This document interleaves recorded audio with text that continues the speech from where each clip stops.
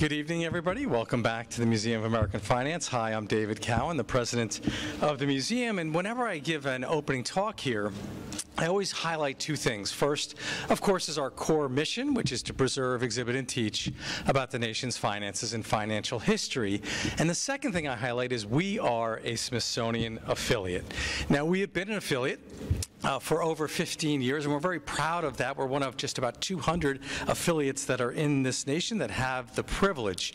Uh, joining us tonight, either now or will be coming, are three other affiliate museums that are in the local New York area. We're going to have Jasna Rodinich, from the managing director of the National Jazz Museum, that's in Harlem.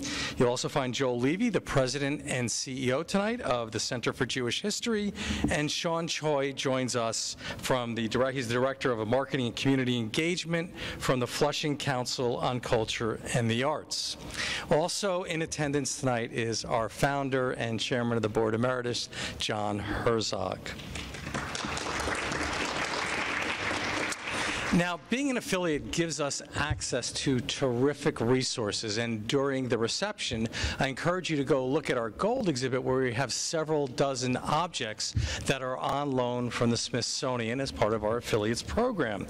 And another advantage is that we have the opportunity to have great speakers like tonight in Richard Kurin. Now, Richard is the acting provost and the undersecretary for museums and research at the Smithsonian. His training is as a cultural anthropologist and I learned just last week when I was with him that for some time he was a New York City yellow cab driver. So what better place to learn about cultural anthropology than in the front seat of a yellow taxi? He is a former Fulbright Fellow. He has a PhD from the University of Chicago. He has researched and written on everything from Urdu to the Hope Diamond. His latest book, and what he's here tonight to discuss, is The History of America in a 101 objects. And this is pretty difficult. The Smithsonian has millions upon millions of objects, and I don't know how he whittled it down to 101. But in the book, you're going to learn about everything from the Declaration of Independence uh, straight through to Dorothy's ruby red slippers from The Wizard of Oz. They've got a Mercury 7 spaceship all the way through to R2D2.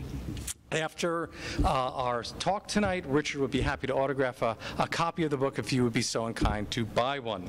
Now, in the foreword of the book by Wayne Clough, he is the former secretary of the Smithsonian, he says that Richard is, quote unquote, one of the Smithsonian's living treasures. And for me, that's a great phrase to introduce him on. Here is one of the Smithsonian's living treasures, Richard Kurin. Thank you.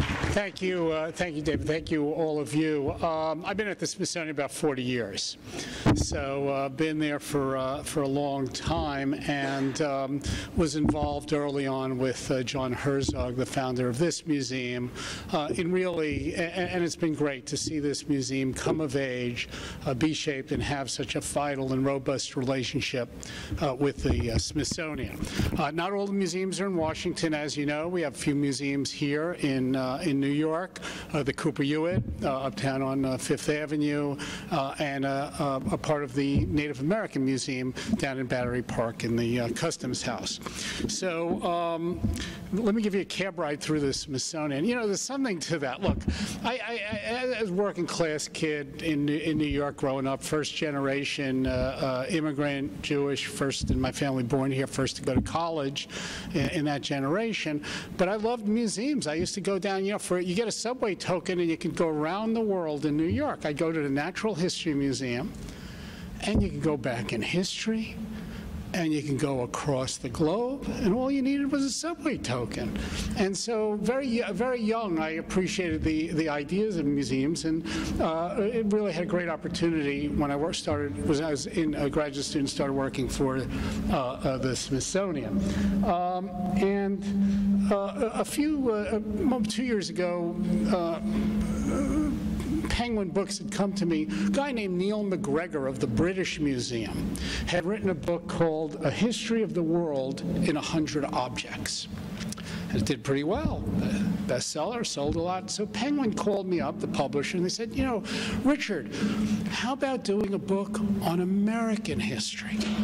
I said, well, I don't know. Well, I, you know, I had to weigh that discussion. I do what I always uh, do when I have a decision to make. I ask my wife. And uh, she teaches first grade, which is good training for dealing with me. And so um, she said, yeah, you know, we don't teach American history in school anymore. We really don't. And I think it would be a good idea. So I went back to Penguin. I said, okay, uh, you know, I'll do this. I said, yeah, you know, we really liked, I had written a book uh, on the um, Hope Diamond a few years ago, and I presented at this museum, the Hope Diamond, very famous. They liked the way I treated it. So they said, no, no, you really got to do this book. We want you to do this book. I said, but I have one condition. They said, what's the condition? I said, well, you know, that British guy, he did 100 objects. We're American. We need 101. So that's how it got to be 101 objects. So uh, uh, people here have been to the Smithsonian in Washington. Okay, a few of you. Okay. So uh, as I said, you know, most of our museums, uh, uh save for two, are uh, in, in that are in New York or in Washington. We have at the Smithsonian, hard to see, 139 million objects in our collection, technically called stuff. That's the museum term. And uh, we have millions and more of uh, archival documents, photographs, films, and other media. It's, it's the largest collection on the planet. Again, this is what it looks like behind the scenes. Again, may be hard to see in the back here, but just millions and millions and millions of things. And to pick out 101 out of that is no easy task, and you can ask me how I did it later on. But what I wanted to do was really provide a very broad notion of American history. So the first object in the book is a little uh, uh, um, uh, surprising. Uh, meet the first Americans. Uh, actually, they're Canadian, technically. These are fossils from about 500 million years ago enmeshed in what we call the Burgess Shales. These are slabs of slate They come really from British Columbia uh, that were discovered in the early part of the 1900s by Smithsonian scientists. And they really document life, what life looked like in North America. And some of these forms then evolved into other forms, others were evolutionary dead ends. But it gives you a sense of what life looked like in what's now the United States or North America 500 million years ago.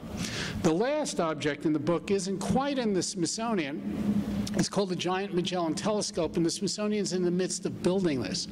This is a billion dollar telescope. It would not fit in the Smithsonian.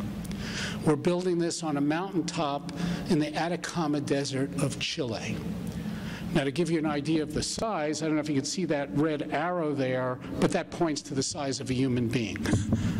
That telescope is about 100 feet across. That telescope will allow Smithsonian and other astrophysicists to see back, see so far in space, you will see so back in time, very close to the Big Bang. It will enable us to detect life in the universe. It'll enable us to understand black holes. So that's the last object in the book, kind of looking uh, forward.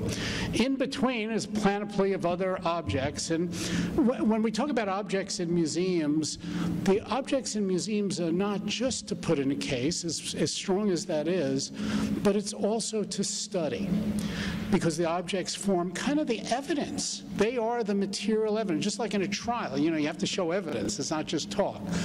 The stuff in museums is the evidence of history, of creativity, of accomplishment and we study that evidence. So we got an ornery guy in anthropology at the Smithsonian, this guy Dennis Stan uh, Stanford. Now, the conventional theory about how people came into North America was uh, through um, Siberia and the Bering Strait.